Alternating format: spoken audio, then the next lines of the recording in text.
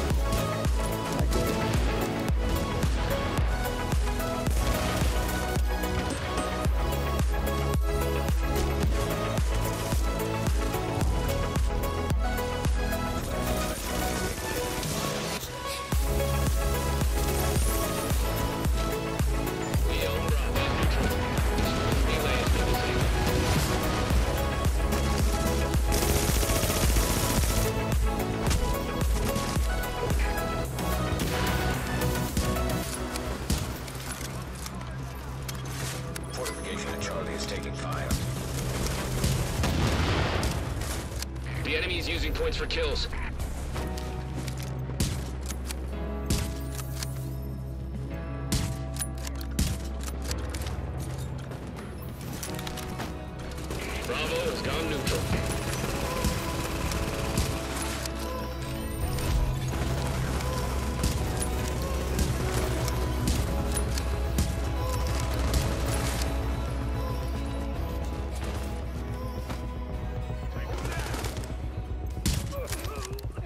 What is going on everybody? It is your boy Nothing But Skillz bringing you another division video and in today's video I'm going to be focusing on what I consider the best PvP and even PvE sniper in the game. Now remember this build is really squishy when you fight players close range but as you guys saw in the video you still can fight players when they get up on you. Now what this build really is good at is fighting players from range and dropping them in two shots. Now a lot of people thought with everybody running stamina, everybody having a lot more toughness, two-shotting people in the division wasn't possible, but I just proved to you guys in this video that it is still possible to two-shot people. Now I feel like this build is a little better for last stand, but you can even still use it in skirmish and in the dark zone. Remember guys, if you have any questions on this build, use the comment section down below. If you guys enjoyed this video, hit the thumbs up. And as always, if this is the first time you're watching a video, make sure you guys hit the subscribe button and let me know you guys are a new subscriber. So let's get into the build. The first thing you're gonna notice is my primary firepower is 303,000. That's firearms of 10,000. My toughness is 340,000. That's stamina of 2,900. My skill power is 124,000. That's electronics of 2,900. So if we get into the gear pieces, what Deadeye 6 piece does is set 2 bonus gives you 40% initial bullet stability. Set bonus 3 gives you 20% marksman rifle critical hit damage. Set bonus for Deadeye. When zoomed, marksman rifles lose headshot bonus but gain 50% critical hit chance when out of cover and 100% critical hit chance when in cover. Set bonus 5, 40% initial bullet stability, 20% marksman rifle critical hit damage. So that's an additional 40% critical hit damage just for running a 5 piece set bonus. And that's how I recommend running this gear set. I feel the 6 piece is situational, improved Deadeye. When zoomed, getting headshot kills with marksman rifles will increase critical hit damage by 20% for every second to a maximum of 100%. This will also increase stability by 100%. This lasts for 10 seconds or until no longer zoomed.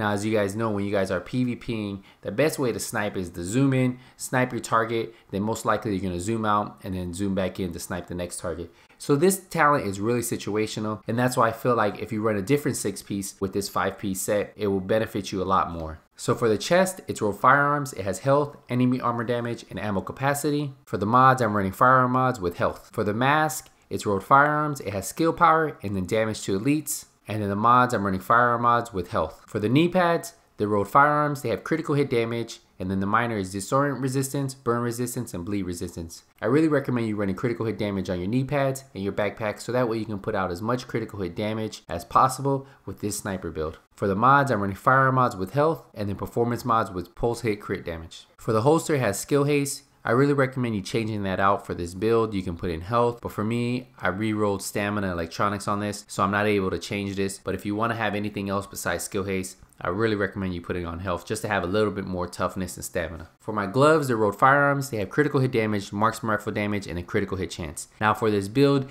you don't need to have any critical hit chance on your gloves. I just can't re-roll these at this time. The ideal roll for my gloves would be critical hit damage, marksman rifle damage, and the enemy armor damage. For the backpack, I chose to run a specialized backpack. It adds 200% of my firearms and stamina to my skill power, and I feel that running a 5 piece with the specialized backpack gives you that bigger heal and then also gives you a better pulse. It's rolled firearms, it has critical hit damage, and then burn resistance. For the mods, fire mods with health, and then of course performance mod with pulse crit hit damage. For the weapons, my main weapon is the M700 Carbon. Base damage is 172,000. Headshot damage is 155%, which with the Deadeye build you don't worry about. I'm running prepared. Damage is increased by 15% when more than 30 meters from the target.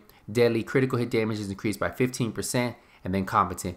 Weapon damage is increased by 10% for 15 seconds after using the skill. For the mods, I'm running a C79 scope. It has critical hit damage, critical hit chance, and optimal range. You really don't need to have any kind of critical hit chance on here. For the suppressor, I'm running critical hit damage, optimal range, and stability. For the small grip, I'm running critical hit damage, accuracy, stability. And then for the extended magazine, I'm running magazine size, critical hit damage, and rate of fire. The one key thing you're going to notice about this build, on my weapon, I'm stacking as much critical hit damage as possible, and there is no reason to stack any kind of critical hit chance, since Deadeye gives you 100% critical hit chance when in cover. For my secondary, I'm running the House. It has 23% critical hit chance, 23,000 base damage. It has deadly critical hit damage is increased by 15%. It has responsive damage is increased by 10% when closer than 10 meters to the target, and then it has card counter. One half of the magazine does 20% increased damage. The half which deals increased damage flips after 15 seconds when the magazine is empty. For the mods, I'm running a pro red dot sight with 18% critical hit damage, 60% headshot damage, and 2.5 critical hit chance. A suppressor with 7.5 critical hit chance, 6% headshot damage, and 4% critical hit damage. A small grip with 19% critical hit damage, reload speed, and optimal range. And an extended magazine with magazine size, critical hit chance, and rate of fire. If we go into the skills, I'm running a concealer that's going to give me 19% critical hit damage. I'm not really focused on the critical hit chance since I do get 100% critical hit chance when in cover with the Deadeye build. For the heal, I'm running an overdose, which is going to heal me for around 100,000. Now, if I really want to go really squishy, I could switch to booster shot and that would only heal me for around 60,000. For the talents, since I'm usually running this in PvP and I'm in a group, I'll run Triage, heal ally with a skill to reduce skill cooldowns by 15%. Critical save, use medkits during low health to increase damage resistance by 20% for 10 seconds.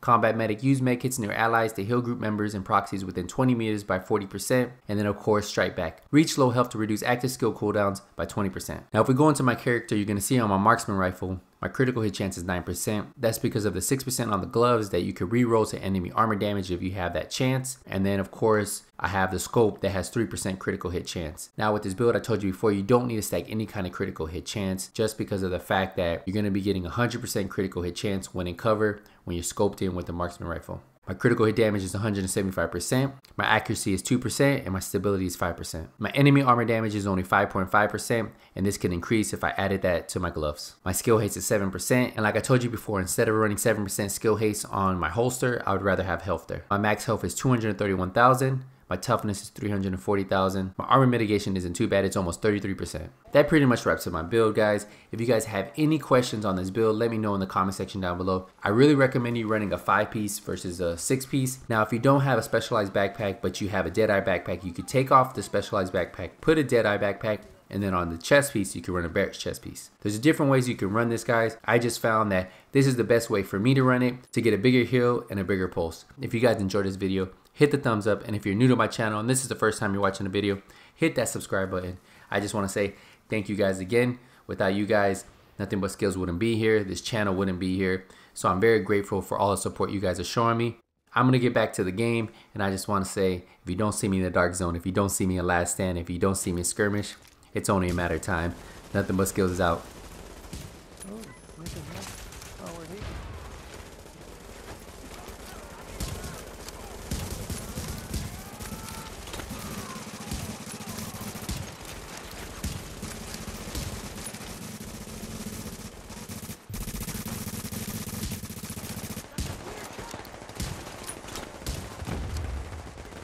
fuck that. Bravos,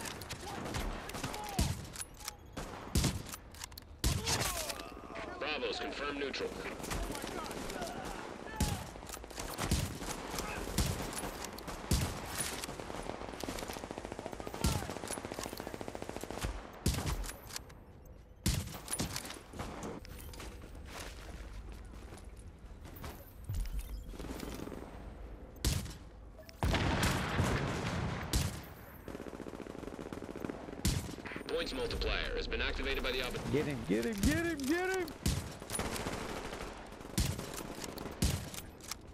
Did you get him?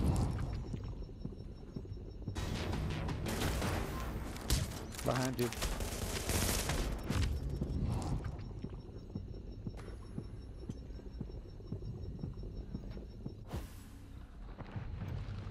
I was trying, it wouldn't let me.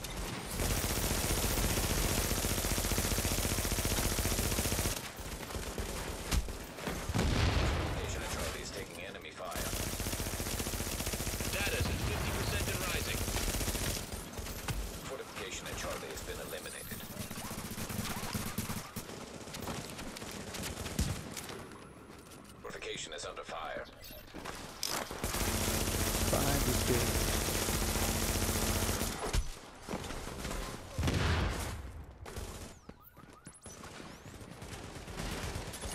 The fortification has been destroyed by Uh, no. hostiles. Oh, look at that thing.